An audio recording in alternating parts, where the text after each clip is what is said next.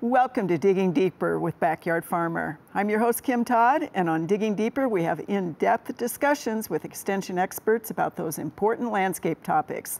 Tonight, we're going to be focusing on children and gardening.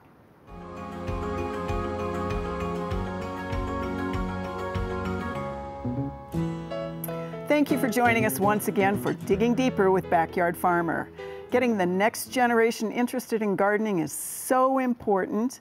We want to help them understand where food comes from and how they can turn a hobby into a lifelong practice. And here to discuss this topic is our backyard farmer horticulture panelist, Elizabeth Exstrom. Elizabeth, welcome aboard. Thank you. And congratulations on that marriage. Uh, thank We're you. We're going to have to get used to that new name. It's going to be a it's going to be a trick. so you are absolutely one of the perfect people to talk about children and gardening because you have a couple small munchkins that you have been working with for, of course, all their lives, but, but certainly also now that we are uh, at home, you have been doing all sorts of things with those kids. We've been doing all sorts of projects at home and I tried to bring it back to horticulture so then I could use it for my for my work. Um, but I have two boys, they're four and eight, and so we really had that preschool, early um, elementary school, and, and kind of did a few different projects with them throughout the summer to bring them back to gardening. So let's start by talking about one of those projects. So the easiest project that we started with was a greenhouse in a bag. And it's one of the easiest ones you can do. You can do this with those little tiny seed bead bags you can get at the craft section of the store, or you can use a little zip top bag, um, whichever one you choose. And you take a damp cotton ball, you stick a seed inside, and you watch it sprout. It is the easiest thing you've ever done. Um, if you want to, what you can do is you can either put them in a window or what we've often done is you turn it into a necklace. So they can wear the seeds around like a necklace and then the warmth of the body helps those seeds to germinate. When I do this project, I most of the time I use beans just because they are the easiest one to see sprout and their germination rate's really good. Um, so if you have old bean seeds sitting around, um, you can go ahead and do that with them. So once you get them to germinate in their cotton ball, did, did the boys actually plant them in the garden or? We did not. Um, we sacrificed them. and uh, one of the projects that you can also do with bean seeds is you can do seedling germination rate. Um, so because I have an eight-year-old, we're in first grade, we're learning math, you know, fractions and um, things like that he's not really working on, but we'll, we'll get there. But what we did is we put a bunch of seeds inside uh, that bag again with a damp paper towel, and we tested to see how much of those seeds actually germinated. So what percentage of our seeds from 2016 germinated versus our 2017 and 2019. Um, and so we have the results and let's just say the 2016 seeds didn't do anything. So if you have super old bean seeds, you need to get rid of them. Um, but this was a good example to be like, okay, why do you think these seeds didn't sprout? Or how old are these seeds? Or what percentage of these went ahead and sprouted?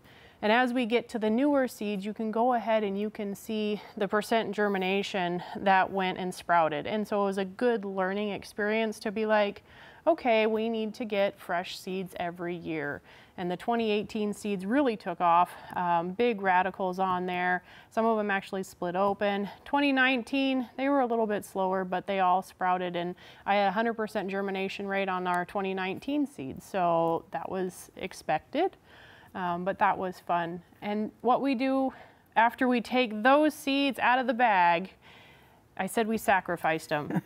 and one of the all-time favorite projects to do with kids is to look at the parts of the seed. Mm. So what you do is you can take seeds from the grocery store, right off the shelf. Um, it's easier if you use red beans or black beans. Uh, I also use lima beans because I don't like to eat them. I'd rather dissect them than eat them. But what you do is you soak these overnight or you can use the ones you did in your germination rate. And after about a day or two, then you start to have the new growth that comes out the bottom, the little tiny root, and then you start ripping them apart. Um, you see if you can take the seed coat off. Can you find the embryo? Can you find the cotyledon? Then we talk about what the job is for each one of those parts. The seed coat protects the seed. The cotyledon, what it does is it's the lunchbox for the seed and it provides the food for the embryo, which is the baby plant. In lima beans, you can really see that embryo inside the bean after a couple days. And it's really cool to see. Now, if you wanted to go further, you could go ahead and you could plant some of those and see if they come up. I've had fairly good success with those. And then plant some of those without the cotyledon attached. And then you see, can that little embryo make it without the cotyledon or does it need to have the cotyledon to survive? That, that sounds really excellent for children. How hard was it for you to keep their attention during all of this? So, um, short bursts. Uh, that's the best way to describe that. You know, a four year old and an eight year old, I mean, if we get 10, 15, 20 minutes out of that, it's a good day. Um, Sounds like adults. it is. Average adult attention span's what, 20 minutes? Yeah. So, you know, we don't want to go much more than that. Um, and so short bursts, little quick activities, and then changing to the next thing. Um, so with my oldest, okay, here's the parts of a seed. What do plants need to grow? Or draw a picture of a flower and just kind of change all those activities up throughout the day. Excellent. So let's talk about another one because you did a lot more activities than just one, and you probably have a lot more sort of in your toolkit right now for the rest of the summer. We do have a lot more in our toolkit. So we were one of the crazy ones that planted peas in March. Mm -hmm. um, because that's when you can plant your peas. So we were out there on one of those really nice March days planting peas and carrots and beets. Uh, we made our own seed tape with toilet paper and Elmer's glue and spaced it out evenly. Because if you've ever tried to plant seeds with little kids, you don't get them spaced evenly or in the row. So that seed tape really helped out and we planted our peas and then we had three inches of snow on top of them. Oh. So that was a really good learning experience for the kids to see that the peas can still survive even though they had the snow on top of them. And right now we're getting to the point where we can actually be picking our peas off and the peas are getting ready to go away. Um, but they go out every day and check on the pea plants and make sure that they're producing peas. And we have eaten more immature peas than I think we have mature peas at this point in time. Of course, because they're better. They're better and we just can't wait. Just can't wait, exactly. So I would think something like doing the seed tape would also be, you have the opportunity for math because, you know, here's two, here's three, here's the whole tape, here's the stretch, those kinds of things. Yeah, we talk about math, and then also with the little ones, it's the dexterity of picking up the sure. bean or yeah. picking up the, the seed and putting it on the tape and working on that hand strength and things like that. So that works out really good with the little ones too. Mm -hmm. um, you can even make seed collages. Let's say we have our 2016 bean seeds that we know aren't going to sprout. Mm -hmm. Go ahead and, and have some artwork. Make a bean display. Do something that will utilize those old seeds. Um, with the older kids, you can go ahead and make a seed display and break it up by families and see how all the seed seeds in one family are, are alike, like your Swiss chard and your beet seeds, how they look the same, and are they the same or different? And those are just some other things that you can do as well. And I would suspect with two boys, you did not suggest the pea shooter with the peas or the beans. I have had kids squirt the little beans out of their seed coats before, and they do go very far. Um, so I have to be careful where I'm at, what, what if we use that project or not. exactly. So any more that you want to talk about? So when we look at some other curriculum that are out there, you mm -hmm. can make up your own curriculum um, through finding some different books that are out there. Um, I stole some books from my from my child, um, five tough seeds. So we go through some different seeds and it goes through what those plants become. Or um, some other ones are experiments with parts of a plant and it's a whole series that goes down through it. So just because it's not a gardening curriculum doesn't mean that you can't use it and you can't educate with it because I mean really, what kid hasn't read The Very Hungry Caterpillar? And that's another one that's out there. But there are some put out by extension um, the Learn, Grow, Eat, Go is a really great curriculum. It talks about not only just the gardening aspect, mm -hmm. but it also talks about like the nutritional aspect and cooking with it and taste testing and trying different things. And so this one's really fun and they just came out with like a preschool program as well that you can do. Um, but you've got your own garden journal. So all this is really great ideas that you can use to go ahead and practice gardening with children. Excellent. So how about digging in that dirt as a part of one of the things you've done with them? It, we have been digging in containers. Um, I got my our garden in the ground late um, but we planted in the dirt and we got out the hoe and we have our own child-sized tools that makes that digging in the dirt that much easier and that much safer mm -hmm. because I have tools that are metal. I really don't want the children to use the spiky metal um, garden tools. So they have their own child-sized tools. Child-sized watering cans are amazing because they fill it up four times as much as what you would fill it up and it keeps them busy forever. I watered all the plants, the, or Tucker watered all the plants the other day because I gave him his little child-sized watering can. Mm -hmm. um, but that's also something that helps with children is giving them their own sense of this is my plant and I planted it myself. So is that the way you have your garden set up? So each of the boys has their own little space or place or their own little plant or fruit basket upset? Fruit basket upset. Um, we, we plant our containers first because we can plant those in March. And so they each take turns planting something inside the containers.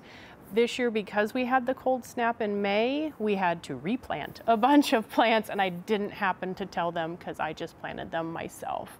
But they love it. Um, the youngest one eats lettuce right out of the containers. I don't even have to wash it or do anything with it. I don't particularly like it, but if he's going out there and munching on it, I will just let him go ahead and do that. That was going to be ne my next question, which is how how has this helped the boys learn to eat those foods, or are there ones that they still are turning up their noses on? Are there ones that they absolutely love, like the peas, that never make it into the house? it's kind of interesting because if they grow it, they're more likely to at least try it. Right. And so we've had the red okra, we've had eggplant, we've had just different weird, odd stuff. Um, I remember when Tucker was 18 months old, he tootled on out to the container and he pulled up a turnip and just bit right into it and ate it. And I'm like, you do you, buddy, go ahead. And so now I know that they like turnips. So they do a, um, if the child gets to grow it, they're more likely to try it. And we have a rule that you have to at least take a bite and try it. Mm -hmm. um, and in this curriculum, it has um, parts of a seed or parts of a plant. So you try each and every different part of the plant, whether it's the carrot, which is the root, or the stem, or the leaf, and the flower, and the seeds, um, and then the actual vegetable themselves. And it's kind of fun to watch the little wheels turn where I didn't realize I was eating a stalk or a stem right. of lettuce, or the seed, or the flower on broccoli. That blows their mind that broccoli is a flower. Exactly, yeah. We want to make sure that you watch us on Facebook and that will be at 8 o'clock on Thursday evenings. You can give us all of your comments. It's great to hear what you like about what we're doing, and your comments help our panelists and help our viewers understand a little bit more about the subject than the time we typically have during the real show.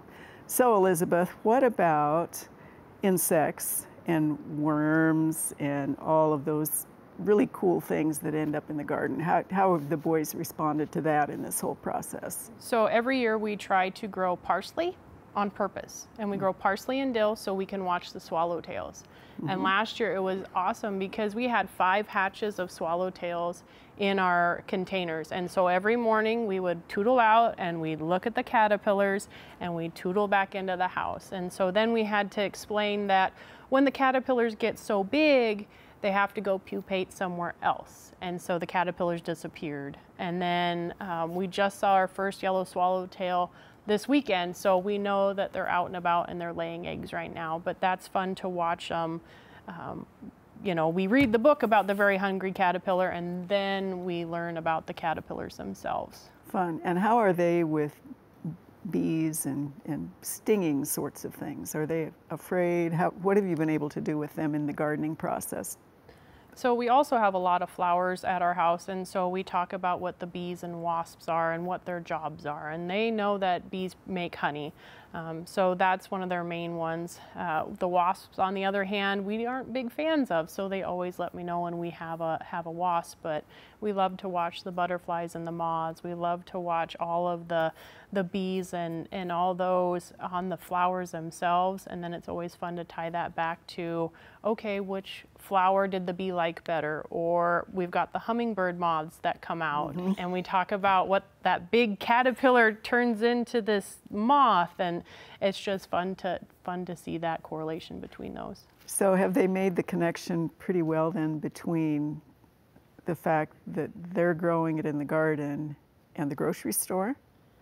We're working on that. Mm-hmm. Um, in the grocery store, it looks just a little bit different, and they no soil, no raised no, bed, no, no insects. soil, no raised bed. The peas are in a container already, um, but it's just kind of fun to to see. Mm-hmm. Okay, mom, what is that? Can we try that? You bet we're gonna try that because I've never had a guava before. Um, but it just gives them an opportunity to, to look and see if we can grow some dirt, different things. I've already had a request that we grow strawberries and blackberries um, next time. So we'll see, oh, and apples. Um, oh boy. Yeah. Sounds like an acreage in your future.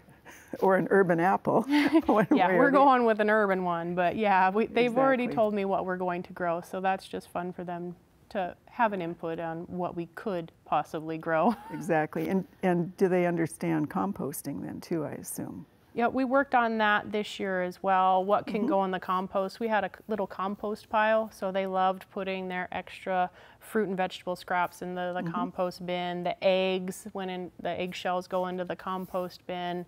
Um, and then we had to, of course, put coffee grounds in the compost bin. As much as we could put into the compost bin, they would put in there and then watch it just kind of break down with time. And that's just fun, fun to see that, okay, we're using these scraps for something else. Exactly. So, would you have one piece of advice for someone who really wants to get their children engaged in gardening and doesn't exactly know what the best first step would be?